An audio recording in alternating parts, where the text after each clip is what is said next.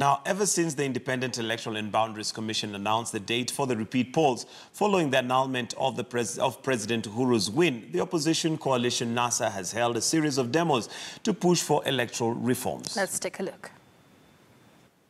The lead up to the official announcement of President Uhuru Kenyatta as the winner in the August 8th general elections saw pockets of violence erupt in the National Super Alliance strongholds of Nyanza. NASA supporters in parts of Nyanza took to the streets to protest the results, terming them inaccurate.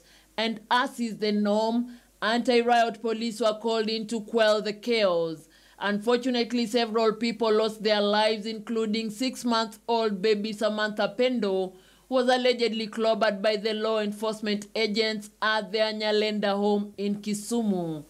In Nairobi, eight-year Nikashika mlango nikafungua. Sasa kufungua nikitoka nasema, "Oh, kumbe wewe ni mzito. Nyinyi ndio mnatupa mawe. Nyinyi ndio mnatupa mawe.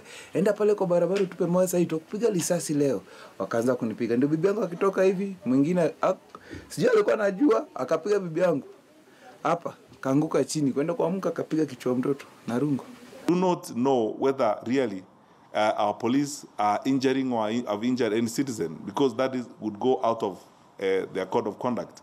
But criminals uh, who, under the law, either approach police officers, uh, you know, armed or threaten the individual lives of the police officers, force is applied only to a measure that is allowed by the law, and the police know that. Calm would however returned during the filing and hearing of the presidential election petition.